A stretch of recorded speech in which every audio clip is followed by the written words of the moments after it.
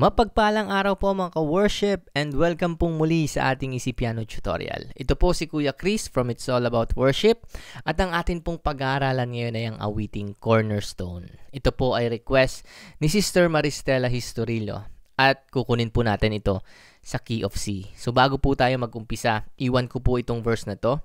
1 Peter 2.4, ang sabi po dito, as you come to Him, a living stone rejected by men, but in the sight of God, chosen and precious. Ayan, nung panahong una po kapag pinag-uusapan po yung cornerstone, ito po yung pinakamalaking bato na nilalagay po nila sa isang building at ito po ang pinakamatigas, pinakasolid at ito po yung ginagamit nilang basihan ng tamang measurement o kung gaano uh, yung tamang sukat ng pagtatayo ng isang uh, building. So, dinescribe po ni Peter na ang ating pong Panginoong Hesus ang cornerstone ng kanya pong church. So, sa atin pong mga buhay, dapat ganun din po. Ang atin pong Panginoon Hesus ang foundation natin. Siya yung cornerstone natin. Sa Kanya tayo aasa, sa Kanya tayo kukuha ng lakas, sa Kanya tayo kukuha ng protection, at higit sa lahat, sa Kanya tayo makakatagpo ng kaligtasan. Amen.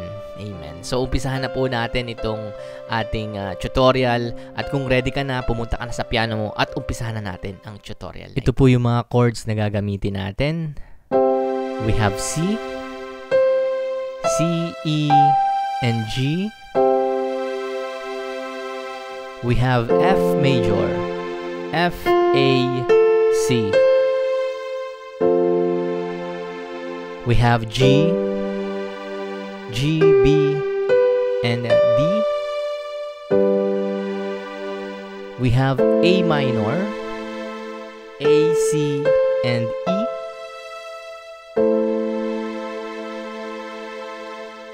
Ayan, ito po yung scale ng C or yung Do Re Mi ng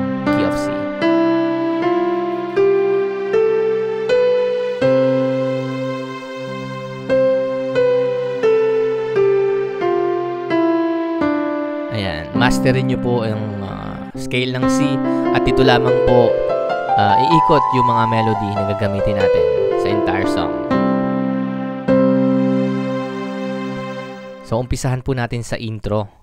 Ito po yung mga chords niya. We have C, A minor, F, G, and C.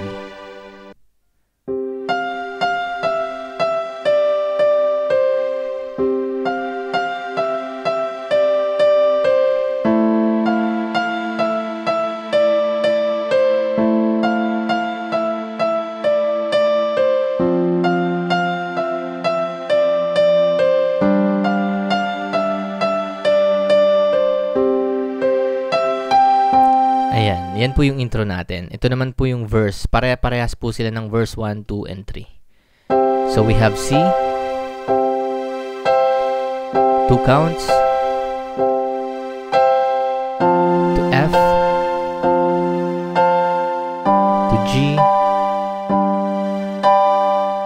To A minor. To G. To F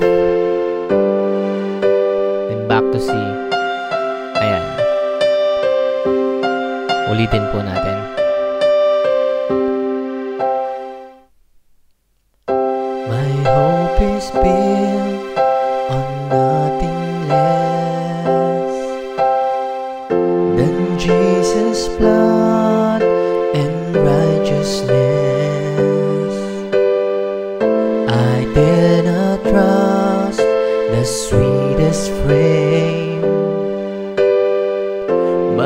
Wholly trust in Jesus' name.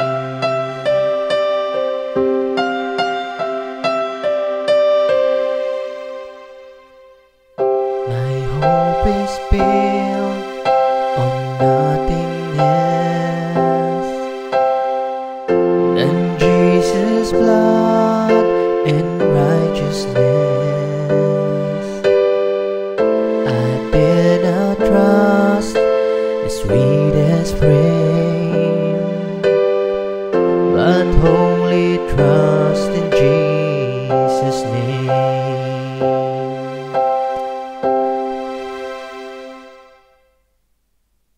Ito naman po yung chorus.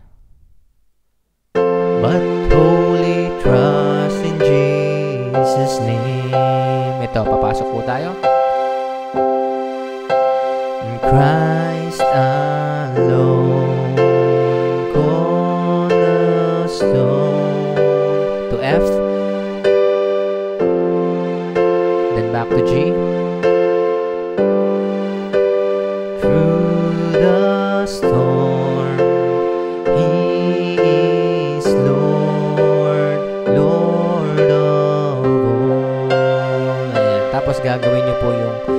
intro. Then pasok po tayo sa verse 2. Ayan, yung verse 2 po parehas lang po siya ng verse 1. When darkest seems to hide His face,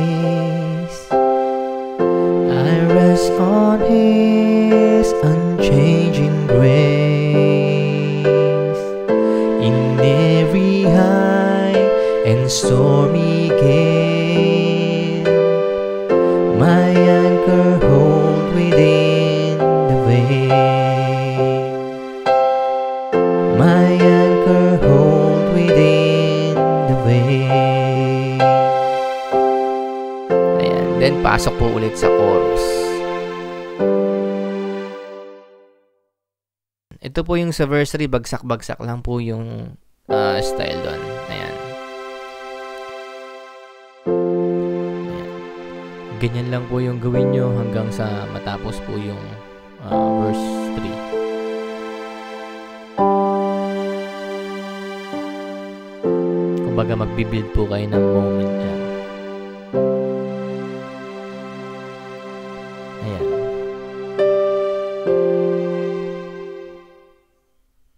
Tapos pasok po kayo sa chorus ulit. Ito naman po yung mga melody ng verse.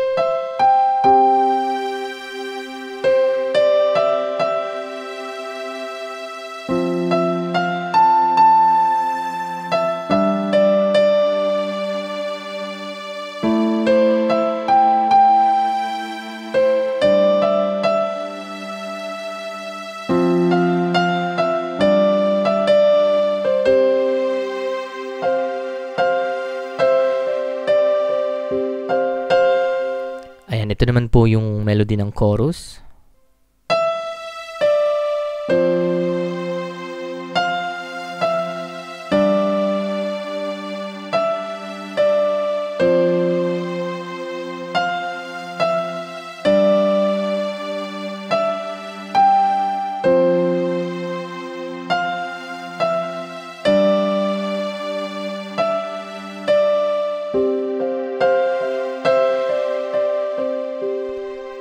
Ituturo ko rin po sa inyo yung original ah, chord pattern ng chorus.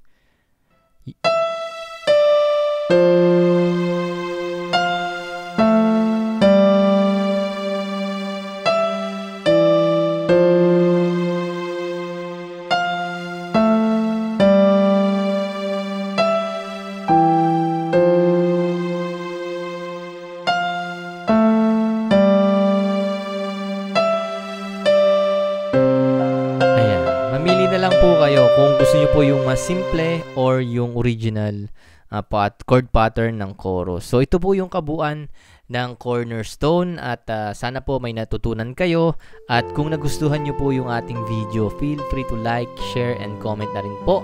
At ah, kung hindi ka pa po nakakapag-subscribe sa ating channel kung bago ka lamang po, please subscribe at ah, i-hit mo na rin yung notification bell para lagi kang updated sa mga future lessons na atin pong gagawin. At paki-follow na rin po yung ating pong Facebook page. Ayan, may Facebook page na rin po tayo para po ah, marami po tayong ah, ma-reach na mga ah, Christian na gustong ah, matuto magpiano upang ipagamit ang kanilang buhay sa music ministry sa paglilingkod sa ating Panginoon. Ayan, maraming maraming salamat pong muli sa inyong suporta at sa walang sawa niyo pong panonood. Maraming maraming salamat po at lagi po nating tatandaan God is good all the time. Hanggang sa susunod po nating ah, tutorial. Ito po si Kuya Chris from It's All About Worship. Hanggang sa susunod po. God bless you.